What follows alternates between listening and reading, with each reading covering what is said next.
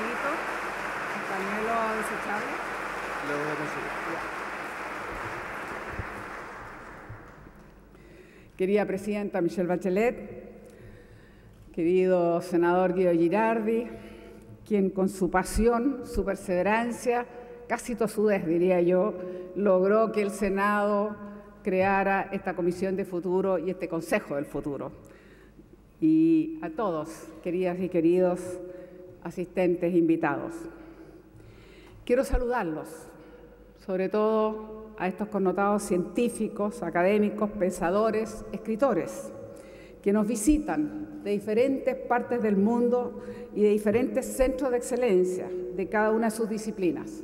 Bienvenidas y bienvenidos a este Senado de la República de Chile, que se constituye en un espacio de reflexión y diálogo sobre los desafíos que nos plantea el futuro. Antes de continuar, permítame expresar toda la solidaridad del Senado y de Chile a los investigadores franceses presentes que nos acompañan, a su pueblo por los graves ataques terroristas perpetrados en París y que enlutaron a todo el mundo. Condenamos enérgicamente estos actos de barbarie dirigidos no solo contra un medio de comunicación, sino también contra la democracia y la libertad de expresión de toda la humanidad.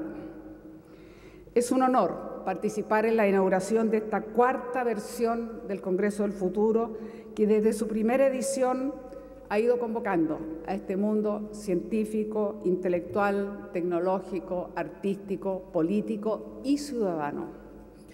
En este Congreso se dialogará acerca de los temas y logros de los desafíos actuales más relevantes de la ciencia mundial, la política y las artes, de cara al futuro poniendo énfasis, como yo espero, en un desarrollo inclusivo y moderno, donde prime la solidaridad, la sustentabilidad y el bienestar por sobre los intereses particulares. No deja de ser relevante que este debate lo hagamos precisamente desde América Latina, donde observamos cómo estados y sociedades más industrializadas luchan duramente contra el neoliberalismo desregulado y la desigualdad que ésta genera en los países más desindustrializados. En Chile, luego de 25 años de democracia, se avisoran nuevas tareas, nuevos desafíos, nuevos dilemas. Uno de los más grandes es cómo hacemos frente a todavía esa amplia brecha de desigualdad que mantiene aún a dos millones de chilenos en pobreza sin recibir los beneficios del crecimiento económico y a un amplio sector de la clase media que se encuentra en situación de vulnerabilidad permanente. Es por ello que el gobierno de nuestra presidenta, de la presidenta Bachelet, en conjunto con el Parlamento, ha iniciado un debate legislativo para cambiar esta realidad, partiendo por esta reforma tributaria que nos genere equitativamente aquellos que tengan más, efectivamente paguen más. La reforma al sistema binominal, que aprobáramos después de 21 horas seguidas de debate.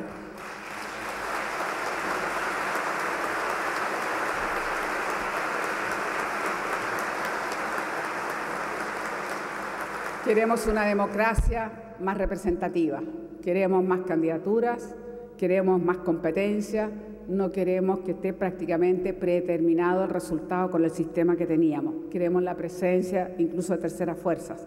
Y esa reforma educacional que nos cambia la mirada desde una educación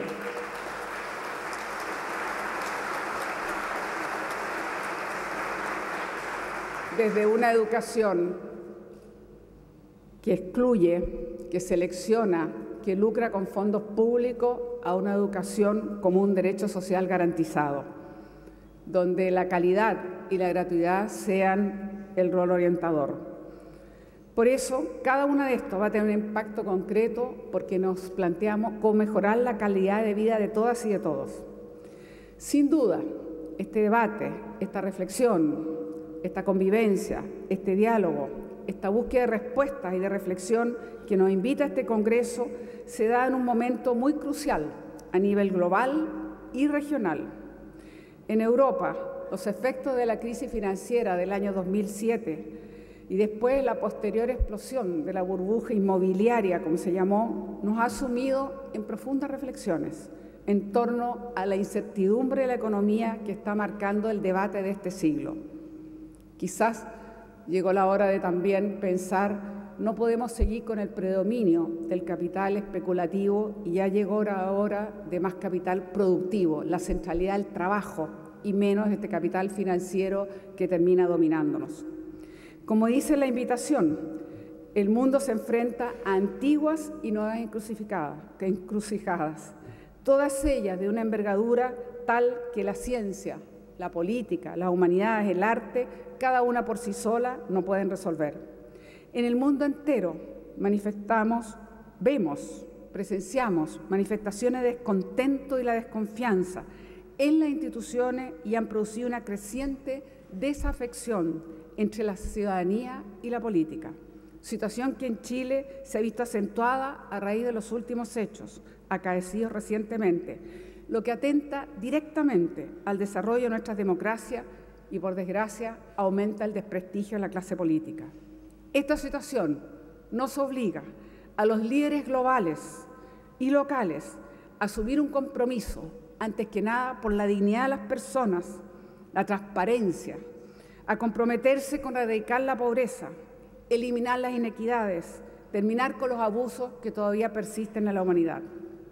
El esfuerzo que ha venido realizando por cuarto año consecutivo el Senado de la República para generar este espacio y esta amplia convocatoria da cuenta de la necesidad de potenciar este foro para la comprensión de los temas del presente y el futuro.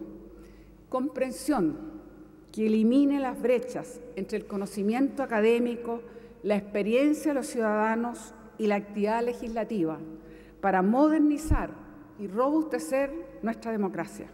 En este marco, quiero destacar el convenio que ha suscrito el Senado con diversas universidades nacionales que nos permitirán hacer un mejor seguimiento de las leyes y mejorar también nuestras políticas públicas.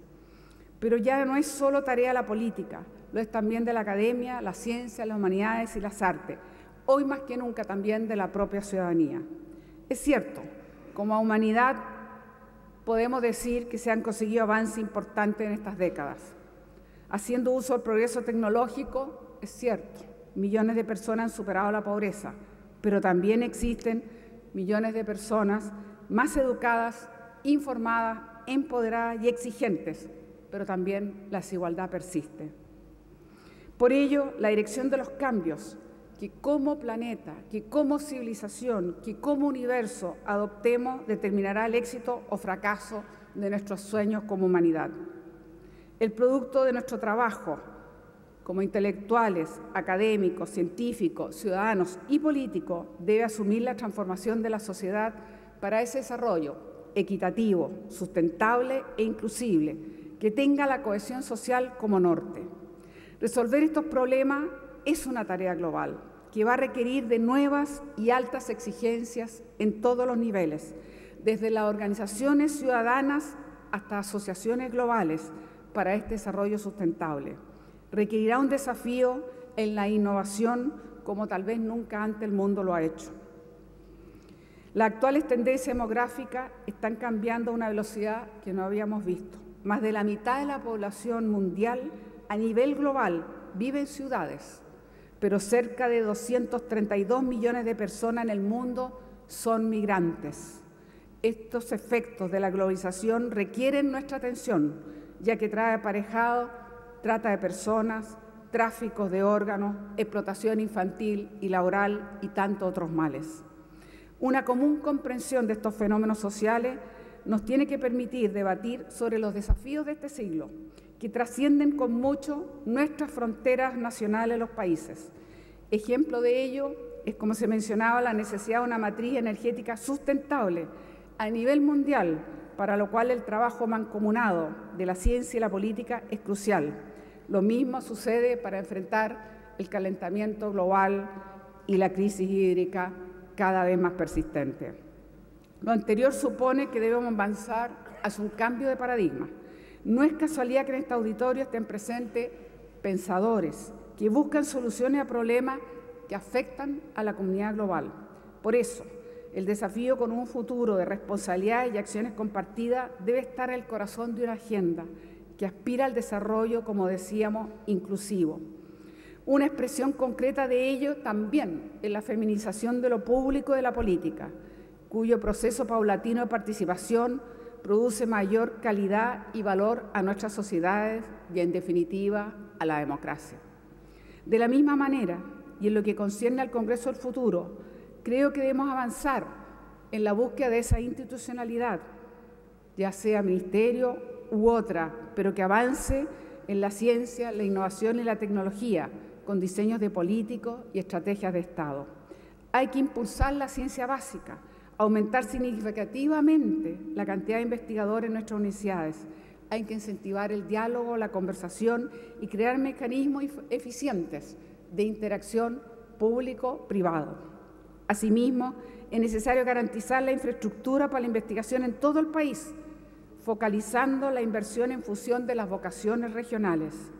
De esta forma, podremos superar el modelo exportador de nuestras materias primas de nuestro país, agregando valor a nuestros productos, desarrollando y promoviendo la creación de industria propia con un fuerte componente innovación. Desafíos, por ejemplo, que tenemos con el litio, que además de ser estratégico, debiera permitirnos exportarlo no solo como carbonato, sino agregándole valor, baterías y tantos otros productos. No nos podemos permitir lo que hacemos con el cobre, exactamente lo mencionaba el senador Girardi. Vendemos dos cátodos y terminamos importando cañerías. Una institucionalidad adecuada permitirá no solo el incremento en la investigación en ciencia y tecnología, sino que hará posible lo que buscamos, el encuentro entre saberes y desarrollo de políticas públicas que nos impulsen hasta esa sociedad, hasta nuevos y mejores niveles de desarrollo inclusivo y un bienestar de verdad e integración para todas y todos. Muchas gracias.